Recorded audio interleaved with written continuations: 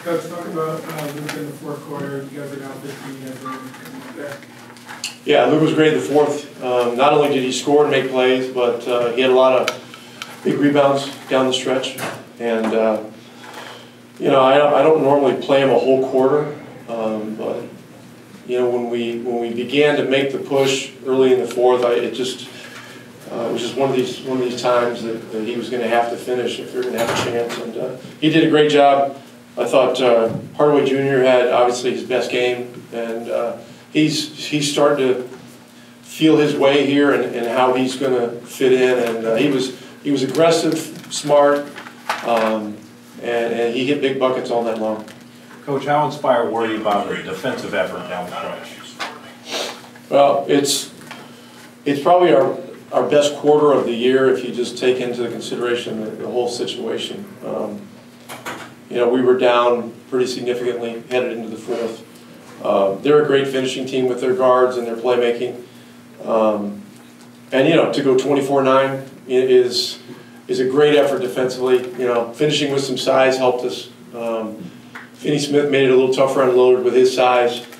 And, uh, you know, we were able to make enough plays to, to, to get there. So, um, you know, exciting, exciting game. Uh, um, there was certainly some ugly stretches early and in the middle, but they, they can make you look bad, you know, with uh, with their skill guys, especially Lillard. You know, him, him in the third quarter was, you know, you know when it get when it gets like that, it's it's just tough. But our you know our guys didn't get down. They kept they kept slugging and fighting, and that was great to see.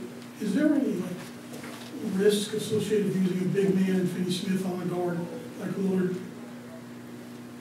Any risk? Yeah.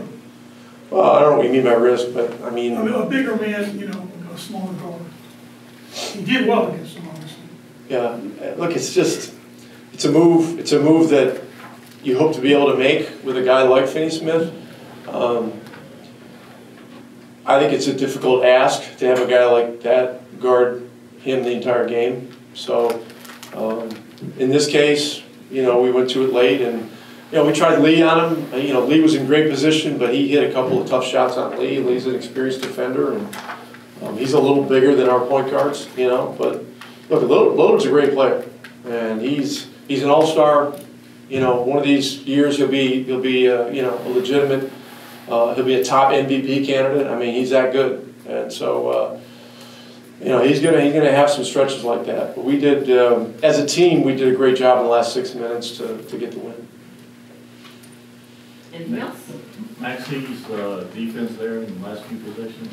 Yeah, he, he had a couple of great verticals. On the last possession, you know, when Lillard got a little bit of an angle on uh, on Dorian, you know, he was there. He went he went vertical and, and, and, was able to to cause the miss and then come down with the rebound. I mean, you know, that, that's a that's an amazing multiple effort play to be able to do both. To, to go vertical, you know, and then somehow jump up again and come up with the ball. Um, but you know, to be a team like this uh, in this fashion, you know, with a comeback like this, you're going to have to be almost perfect down the stretch, and, and our guys work, and there was no other way it was going to get done. Talk about the clutch gene. Does Luka just inherently have it, or is there something that uh, flip uh, switch that flips at the, at the end of the game? Why is he able to be so good towards the end, even if he struggled early on? Well, he's pretty good during the game too. so, I mean, Look, he's got a lot of experience, and you know, I, I mean, you're asking a question that's, been asked a zillion times. I mean, just keep watching the guy play. He's a he's a good player, um, and he's unafraid, and, and, he knows how to finish. He knows how to finish games, and uh, I think he was the one that made the pass to Pop Howard right there and just barely missed the. And that was a spectacular play too. Um, you know, something that's important to understand right now is Luka has an amazing amount of responsibility on this team. You know, he, he's got to he's got to make good decisions. He's got to score, and he's got to get guys shots, and he's got to guard people and rebound. Um, you know, since the trade, and because Porzingis is not playing yet, um, you know, just more more responsibility is falling on Luka, and this is this is a really important 27, 28 game stretch for him to feel what this is all about um, and, and, and, and be able to learn, you know, what it, what it feels like to have to deliver, you know, in all these different areas. And he's certainly, he's certainly capable of doing it. But, you know, it's, um, it, it's, it's, it's, it's a little bit different deal than before the trade, for sure. Do you have any concern about putting too much on his plate, or is he the guy who, kind of guy who responds to, to challenges and kind of embraces that? Well, the, the, the important thing is, you know, I've got to watch his minutes and, and try to keep him fresh um, throughout the games.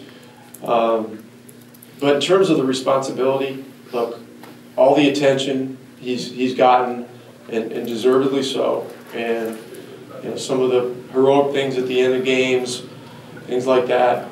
Um, with, with all that comes even more visibility and more responsibility, and, and we, we've got to we've got to prepare him to, to carry this load going forward. Um, you know, through the end of this year and to pick it back up at the beginning of next year. And you know, I, I, love the fact that you know he he he loves carrying the load. You know, he, he has great belief in himself, um, and he's he's one of these dynamic young players that has the has the charisma to give his teammates confidence. And so, but there can be no compromises, you know, with with approach. Um, you know, there were a couple times he came down and took wild shots out of context. I pulled him.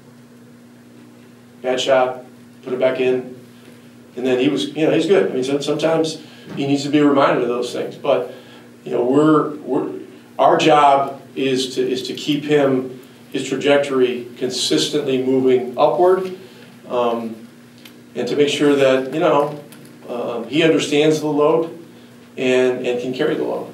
And I think he can. I, I don't have any doubt that he can. Thank you.